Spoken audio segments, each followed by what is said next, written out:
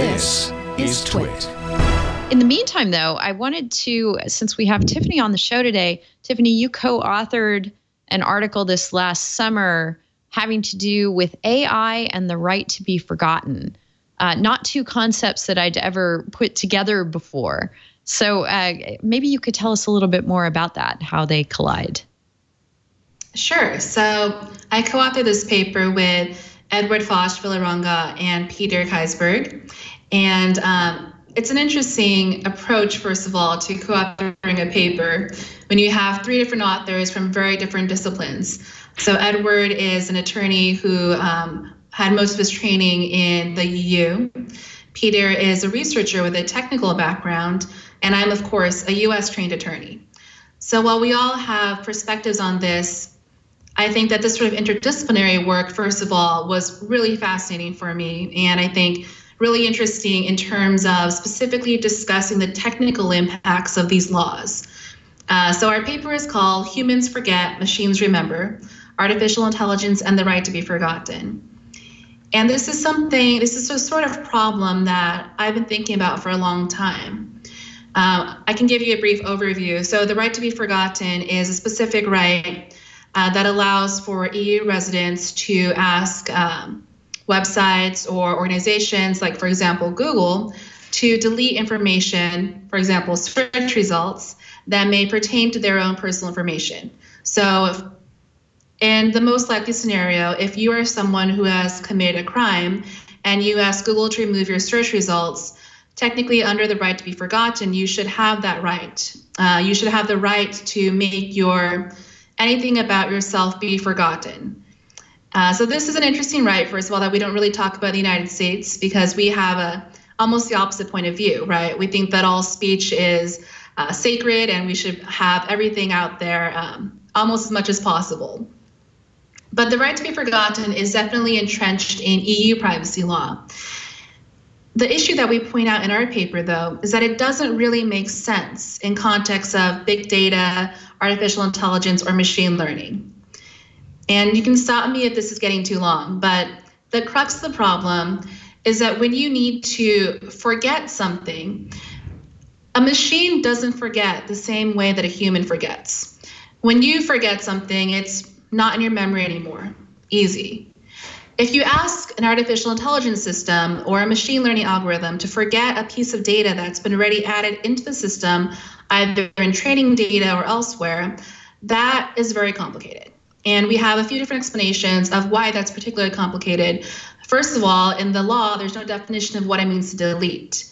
So we don't know if we can comply simply by overwriting whatever file that was there, by simply making a null value, by actually somehow excising it from whatever database we have, or so on. Uh, that's not clear in the law. It's difficult for people to comply with it In a general sense, it's also difficult because you know an AI is built on using training data to improve its model continuously.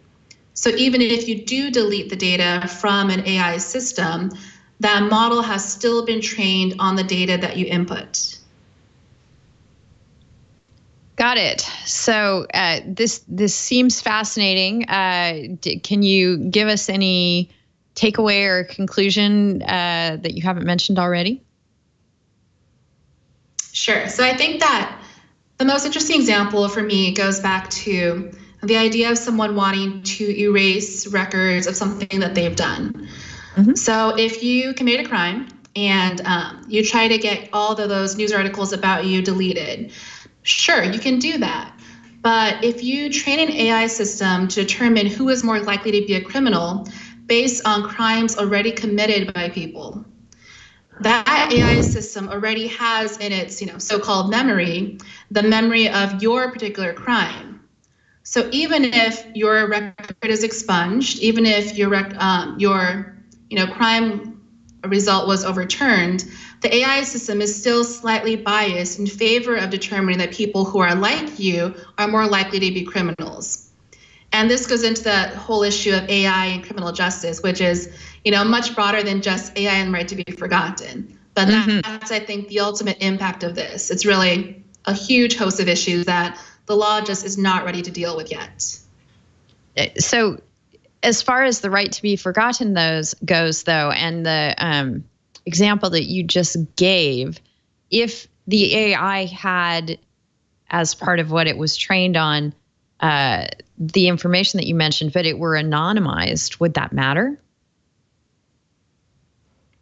So i think that there are two ways to think about this. So if it was anonymized then you at least don't have your personal information um, included in whatever reports may come out and you do technically, you could say that technically the right to be forgotten was upheld in that case because no personal information was included.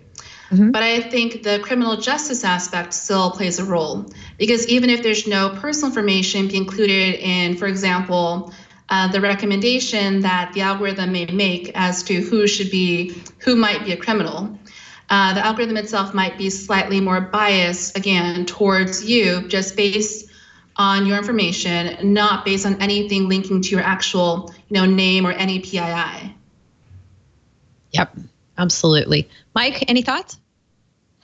So, Tiffany, I'm curious. Are are you and your colleagues are you proposing legislation of some sort to deal with this? Are you thinking about a possible legislation that would take this into account somehow, or? Mm-hmm. You know, honestly, as I am not. I don't know if my co authors are. But I think what we're really looking into right now is just generally the GDPR being, I don't want to say completely inapplicable, but not quite there. Um, and it's worrying to me, and I think to my co authors as well, that the GDPR is coming into effect very soon, next year, um, is potentially reaching out to companies all over the world. Uh, everyone will have to comply with this regulation but we haven't actually figured out what this means. So there are issues involving the right to be forgotten and AI. Um, really, many aspects of the law in terms of machine learning and AI don't really make sense. Um, there is guidance on things like automatic data processing, um, automatic decision making, but the law is behind what current technology is. And th- you can say that about most laws, right? Most of the time, law is catching up to tech. But it's concerning that a law that tries to regulate so much of tech, so broadly regulate tech, is so much, you know, behind what tech really is.